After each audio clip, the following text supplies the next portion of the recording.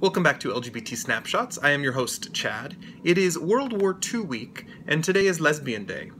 Claude Cahun was born in 1984 in France, with the birth name Lucie Renee Mathilde Schwob.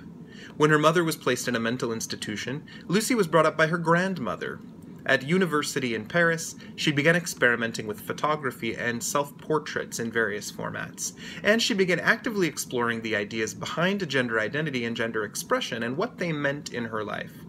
After experimenting with the names Daniel Douglas and Claude Courlis, she chose the name Claude Cahun for herself and had it legally changed in her late 20s, in around 1919, though she kept her birth gender of female her entire life. In the early 1920s, she connected with her life partner, who also happened to be a non-blood related step-sibling named Suzanne Malherbe, who also took the name Marcel Moore later on. And the two worked their entire lives as Claude and Marcel on writing, publishing, sculpting, photography, and activism. They fraternized with other popular artists and writers at the time, and Claude, while using a male name and living as female, often described herself as agender or without gender, and her work consistently challenged gender roles. In the late 1930s, Claude and Marcel moved to the island of Jersey, off the coast of France, and soon Germany took over the island as well as France itself in the war. For years during the war, Claude and Marcel worked in the anti-resistance movement, creating and distributing flyers among German soldiers, and often putting themselves at risk.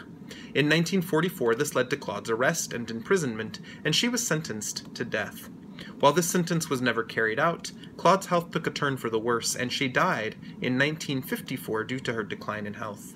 Claude's work has been featured many times since her death and can be seen online now.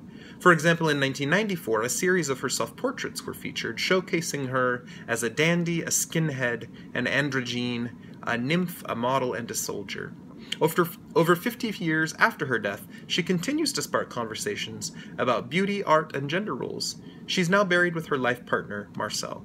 Thank you for tuning in. I hope you learned something. Please like, subscribe, share with your friends. We'll see you back here tomorrow for Fiction Day when we discuss both the fictional and popular movie The Imitation Game as well as the life of Alan Turing, who it was based on.